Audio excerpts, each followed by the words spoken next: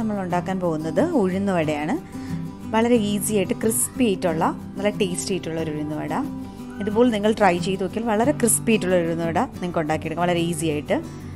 കുറച്ച് കുറച്ച് കൊച്ചു ജാറിൽ വേണമെങ്കിൽ നമുക്ക് അരച്ചെടുക്കാവുന്നതാണ്. പക്ഷേ ഞാൻ ഇന്ന് വ്യത്യസ്തമായ ഒരു വലിയ നമ്മൾ കറിക്കൊക്കെ അരയ്ക്കുന്ന വലിയ മിക്സിയിലാണ് ഈ വട അരച്ചെടുക്കാൻ പോകുന്നത്.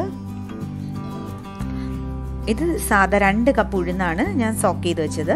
ആ രണ്ട് കപ്പിന് നമുക്ക് ആറ് സ്പൂൺ വെള്ളം ഒഴിച്ച് ഇതിനെ അരച്ചെടുക്കാൻ പോവുകയാണ്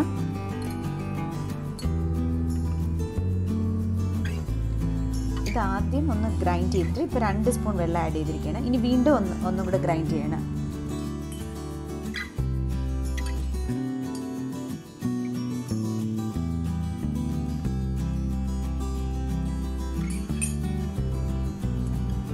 ഉഴുന്നുവടയ്ക്ക് ആവശ്യമായ മാവ് ഗ്രൈൻഡ് ചെയ്തെടുത്തിരിക്കുകയാണ്.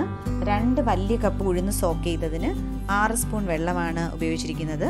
അത് രണ്ട് സ്പൂൺ രണ്ട് സ്പൂൺ വെള്ളമായിട്ട് കുറേശ്ശെ ഒഴിച്ച് ഗ്രൈൻഡ് ചെയ്തെടുക്കണം. ഇതിലേക്ക് രണ്ട് സ്പൂൺ അരിപ്പൊടി ആഡ് ചെയ്യുകയാണ്.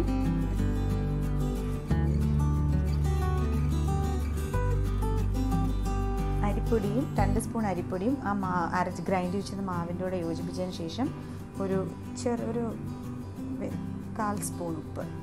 വളരെ കുറച്ച് ഉപ്പ് മതിയാവും.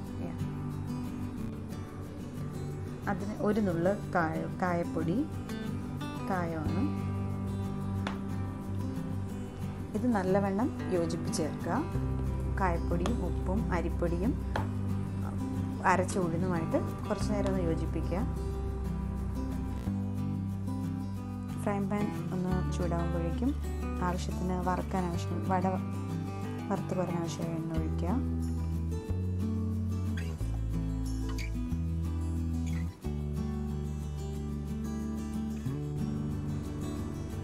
എണ്ണ ചൂടാകുമ്പോഴേക്കും നമുക്ക് ഈ നമ്മൾ മിക്സ് ചെയ്ത് വെച്ചിരിക്കുന്ന മാവിലോട്ട് ഒരു സവാള കുഞ്ഞായി കട്ട് ചെയ്തത്. കുറച്ച് പെപ്പർ ഒരു പത്ത് ആവശ്യമായ പെപ്പർ ഒരു പച്ചമുളക് കട്ട് ഇഞ്ചി ഒരു സ്മോൾ പോർഷൻ ചോപ്പ് ചെയ്ത ഇഞ്ചി. പിന്നെ കറി ലീവ്സിന്റെ കരിയപ്പില കുറച്ച് പോർഷൻ ഇനി ഇത് നല്ലവണ്ണം മിക്സ് ചെയ്യാം. എണ്ണ ചൂടാവുമ്പോഴത്തേക്ക് മാത്രമേ നമുക്ക് സവാ അരിഞ്ഞു വെച്ചിരിക്കുന്ന സവാളയും ഇഞ്ചിയും പച്ചമുളകും ഒക്കെ ആഡ് ചെയ്യാവും? അല്ലെങ്കിൽ മാവ് ലൂസായി പോകും ഇത് വടയുടെ ഷേപ്പാക്കി ബോൾസ് ആയിട്ട് എടുക്കാൻ എടുക്കാൻ വേണ്ടി രണ്ട് കൈ നമ്മൾ കുറച്ച് വെള്ളം ഒന്ന് ജസ്റ്റ് റബ് ചെയ്തിട്ട് സ്റ്റാർട്ട് ചെയ്യും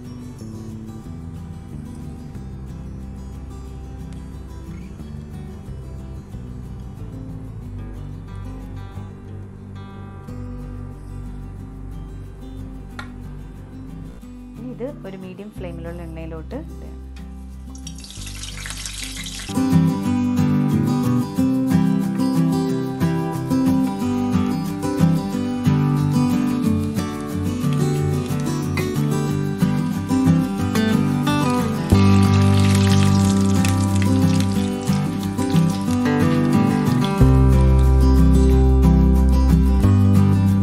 ചെറുതായിട്ട് ഒരു സൈഡ് മൂക്കുമ്പോൾ തിരിച്ചിടുക തിരിച്ചിട്ടിരിക്കുകയാണ്.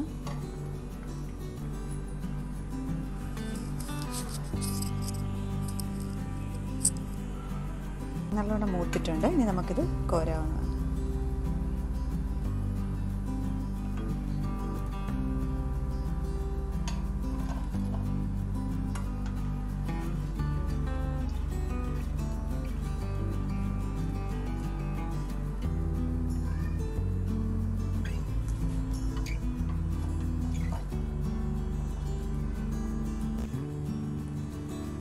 വടയുടെ കൂടെ നമുക്കൊരു ഈസി ആയിട്ട് തേങ്ങാ ചട്നി ഉണ്ടാക്കാം.